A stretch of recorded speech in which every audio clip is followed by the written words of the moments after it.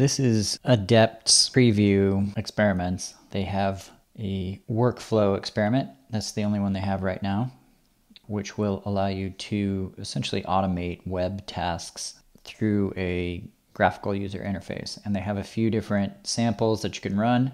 So I'm going to start with the Google Maps walking tour. These are all pre-programmed by Adept and you can see they got a bunch of instructions of things to do on Google Maps.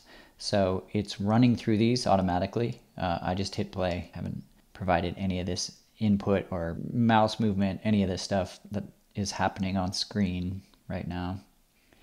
And I've sped it up, but uh, there you can see that it completed those instructions successfully. And so now I want to test some form filling. So again, this has some Google Maps stuff but it will also fill out uh, a Google survey form. All of the stuff that happens on screen is because Adept can recognize things with computer vision. It doesn't actually use the DOM. So here you can see the Adept cursor is going to the right spots on the screen. It's submitting data to the survey, and this is the code that it runs. The code is a bit simplistic, so I'm very curious to dig into how it's doing this you can see the function that it calls is just answer question about screen for the map stuff. And then for the field stuff, click your answer field near San Francisco. It's very broad. We don't have anything in the way of documentation as far as I can tell.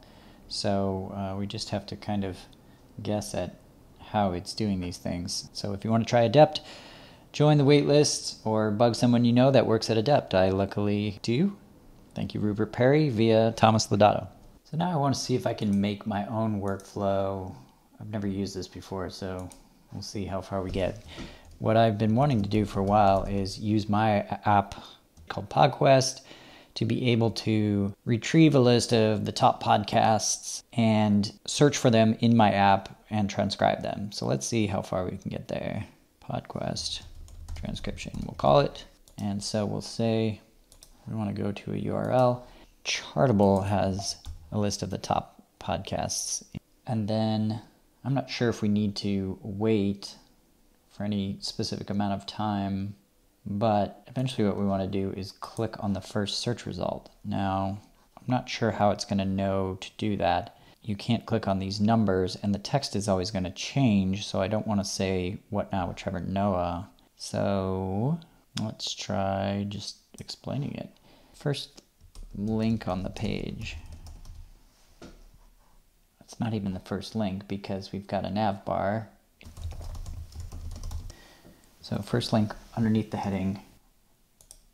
When we click that, I would like to be able to just copy. I, I don't even really need to click into the link. What I want to be able to do is find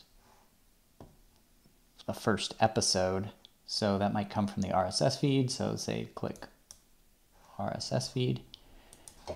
I like the fact that it's letting you use very natural language, but I'm not quite sure how well that will work. I have seen other visual automation tools that allow you to click on things on screen and automate the flow that way. So that would kind of be a little more foolproof, I would imagine, but let's see how we do again, what I want to copy is like the first episode. So that would probably be this item here. So that's probably as far as I could get in this workflow. Let's see if it does. Bring up the website. Uh, it clicked the text the first because it happened to be there, but that did not work. So stuck on that workflow. And let's see if we can just use my app. So let's do a new one. Use PodQuest. We're going to add a step. Go to a URL. This is PodQuest. And then we're going to want to click on the select button under questions and highlights. And when we do that, let's just search for this podcast what now with Trevor Noah into the podcast name field. And this is the matching results field. So let's see. Yeah, we'll just try select podcast. matching results select field, and then we want to click the the first field option in the matching results select box.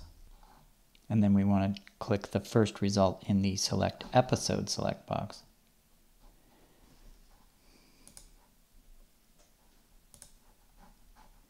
And we'll just see if it can transcribe. So you can see if I do those actions, it's transcribing this podcast.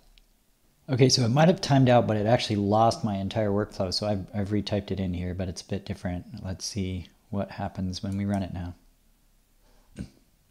Okay, got the website. It clicks the right select button, it looked like. Nice. Typed in the right thing. Hit submit. Good.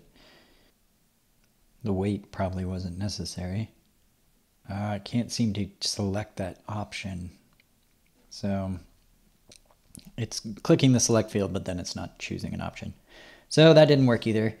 Uh, we could try to get that to work, but um, my guess is we probably need a little bit more semantic understanding in Adept to do what I'm trying to do.